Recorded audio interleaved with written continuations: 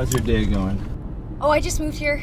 Oh, welcome. Welcome to Los Angeles. Thanks. Yeah. Moved here to be an actress, that whole thing. I can feel energy. I feel energy. I see energy. You have really good energy. So tell me more about yourself. Don't lose that, okay? I don't know. What do you want to know? Don't let LA suck that out of you. How old were you when you had your first kiss? LA can do some stuff. LA can, 15? like an energy vacuum, Are you still a virgin? just suck the life out of you, okay? Don't let that happen, all right? I just feel like I'm doing nothing with my life. You got this, Penny. Don't worry. Cause these sleepy little